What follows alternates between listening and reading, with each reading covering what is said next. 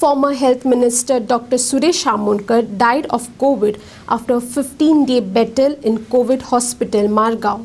He was admitted on 21st June. Chief Minister Pramod Sawant and Union Minister Shripad Naik attended the cremation at Sankhali on Tuesday.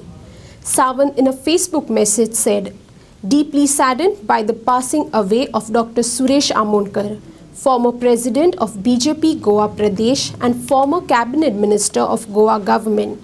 His contribution to the state of Goa is immense and will never be forgotten.